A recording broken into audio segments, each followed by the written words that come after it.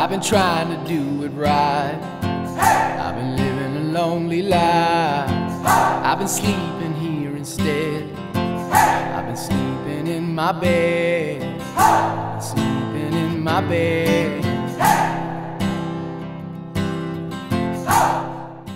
I would like to welcome everyone this evening to the marriage of Corey and Jennifer as they exchange their vows.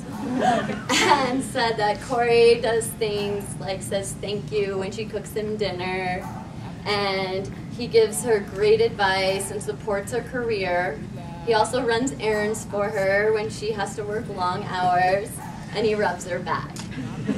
He said the little thing Jenny does that makes him the happiest is that she smiles when she brushes her teeth. Corey, you may not kiss the bride.